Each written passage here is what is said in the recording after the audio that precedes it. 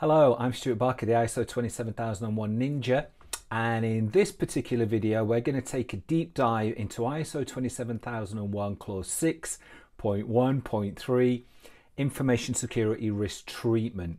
So this is all the tips and the tricks and how we go about it so that we can give you maximum certification success when it comes to going for that ISO 27001 certificate. So the risk treatment forms part of the wider risk management. There are blogs and videos and guides on risk management where we take a deep dive and there are other videos related to the other clauses but here we're going to look at information security risk treatment and then I'm going to give you some tips and some walkthroughs about how you can satisfy that. So first of all we're going to start off with some reading. Uh, we're going to have a little look and see uh, what the standard says then we'll look at how we're going to address it. So, ISO 27001 6.1.3 Information Security Risk Treatment. The organisation shall define and apply an information security risk treatment process to, we're going to select the appropriate information security risk treatment options. We're going to determine all of the controls that are necessary to implement the information security risk treatment options chosen. We're going to compare those controls to ISO 27001 Annex A and we're going to produce a statement of applicability that contains the controls that mitigate our risks. We're going to formulate our information security risk treatment plan and we're going to obtain, obtain the approval. Well, we're going to identify risk owners and then we are going to obtain their approval for the risk treatment options that we've got. The standard also says that the organisation shall retain documented information about the information security risk treatment process. So you're going to keep that history and you're going to keep that documentation. So let's have a little look through each one of those. So the first thing we're going to do is we are going to take a look at our information security risk management procedure. So let's have a look at that risk management procedure. We've touched on it before, so I don't need to go into it. Various things that are covered within that. Yes, it's a template on the uh, High Table website. Yes, it's part of the ISO 27001 toolkit, as are all the documents, goes without saying. Um, that looks at things like risk register, risk identification, risk identification, uh, and risk treatment, which is the thing that we're interested in today. So we're going to identify what our risk treatment options are. For us, what we're going to say is risk assessment. When it comes to risk treatment, we've, we've touched on this, it generates a risk score. Uh, we've looked at how we do that um, when we look at analysing risks. But our risk treatment options are going to be risk avoidance, risk reduction, risk acceptance, and risk transfer. So, risk avoidance is where the failure um, cost is too great and therefore the risk is not taken, i.e., we don't accept the risk. Risk reduction is where the gross risk is high, thereby reducing the probability or impact of the risk through controls. Risk acceptance is where the gross risk is accepted as it stands, and transfer is we transfer part of a risk to a third party, for example, via insurance or outsourcing. So we've identified what our risk treatments are. We're going to determine the controls that are necessary. Um, now, determining the controls, the, the B and C, I kind of flip these around a little bit, right?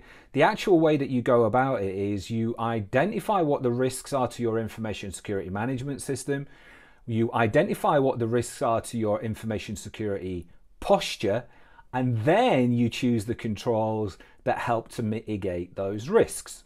Okay, so it's kind of like horse before the cart in terms of the standard because it's saying go away, choose some controls, then compare it to the Annex A. I find the easiest way of doing it is going through the Annex A and then picking the controls within Annex A that mitigate the risks that you've got. Now, the reality, again, top tip, the reality is the majority of the controls are going to be controls that you're going to implement. So start with a statement of applicability looking at the risks that you've identified, choose the controls from the statement of applicability. Then, if there are additional controls that you think that you need, then add them on. So I would flip those two the other, uh, the other way around. So we've gone through our risks, we've identified our risks, we know what our risk treatment options are, we've now picked our controls. What the standard then says is to create a statement of applicability.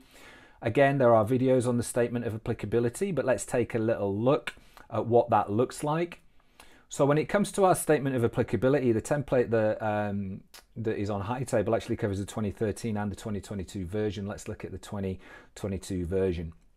So the way that the statement of applicability is set out is we take the Annex A controls, We list what those Annex A controls, we set the control objective, then we need to know why we need it. So here what you can see is we have the driver of why this is required. Either it's a business need, a risk need, a legal need, or a contractual need. There is an argument to be said that within our statement of applicability, if it is a risk reason that we can, from a bureaucratic overhead point of view, map which particular risks uh, this control satisfies. So whether you do that on the risk register or whether you do that in the statement of applicability, I prefer to keep the statement of applicability as clean as possible. Uh, I maintain it to this individual level, um, and I keep it I keep it nice and simple.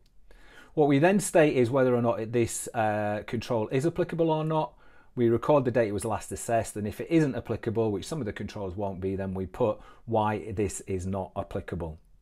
So we've identified and we've recorded our statement of applicability. Uh, we've looked at the necessary controls. We've put their justification for inclusion. We're putting in whether their necessary controls are implemented or not, and we're putting for the justification for exclusion uh, if it is the case that we are not going to implement a control. And remember that the controls, this is a risk based system, right? A lot of people will go through this and think it's a checklist. It isn't. We're choosing our controls based on our risk, and it is absolutely appropriate that some of these controls we're not going to have. It is equally appropriate that some of these controls we're just going to accept the risk. We're not actually necessarily going to mitigate the risk by implementing the control to the nth degree. And then what we do is we formulate our risk treatment plan. So the way that we formulate our risk treatment plan is we populate and we use our risk register. The risk register tool is a fundamental tool in our arsenal when it comes to the management of risk. I'm not going to go through in detail the risk register. Um, there is another video on that that looks at all about how we do the risk, the risk treatment, uh, risk when it was uh, first identified in residual risk. But what I am going to show you is how we record that within the risk register. So be sure to check out the other video on the deep dive into the risk register. But what we can see is we've got the risk scoring and we are going to formulate our risk treatment plan by identifying what that risk treatment is. We're going to identify what our risk treatment plan is. We're going to allocate a treatment owner. We're going to set a treatment date. Then we're going to record whether or not it's open or closed or not. Actually, once we've completed our risk treatment, we're then going to rescore our risk, and this is called residual risk. So what we do is we identify what the new control or controls are, we rescore it, and that generates a new risk score. Just as a point of note, what should happen is that our risk when uh, first identified in our residual risk, that risk posture should improve, right? We shouldn't necessarily be doing a risk treatment that doesn't mitigate, reduce, address, or treat that risk, right? We don't want uh, risk being, uh, we don't want those risks increasing. So there's a lot of information within there uh, and a lot within the within that risk register. So once we've done that, what we're going to do then is we are going to identify who our risk owners are. Again, we can record that in the risk register and then we're going to seek approval from them for that risk treatment plan. So that is how we address our risk treatment. And what we're doing is we're documenting all of that clearly, right? So we have our risk register, uh, we have our risk scoring, we have our uh, archive, you know, we have our previous version. So we've got documented evidence of that. It may be the case that when you do your risk treatment planning, again, depending on how mature you are, whether or not you follow some kind of project methodology, you know, you have detail, more detailed documentation around it. But from the information security management perspective, just recording it in the risk register is going to be sufficient. So for today, that was ISO 27001 clause 6.1.3 uh, risk treatment, information security risk treatment. As we continue our journey through those, the templates that you've seen today are available for, for, download from the High Table ISO 27001 store. Clearly, they're part of the ISO 27001 toolkit. Um, so be sure to check those out if it's something that, that you would uh, see some benefit in and gain from. So I am Stuart Barker. I am the ISO 27001 Ninja. That was ISO 27001 clause 6.1.3 information security risk treatment. And until the next video, peace out.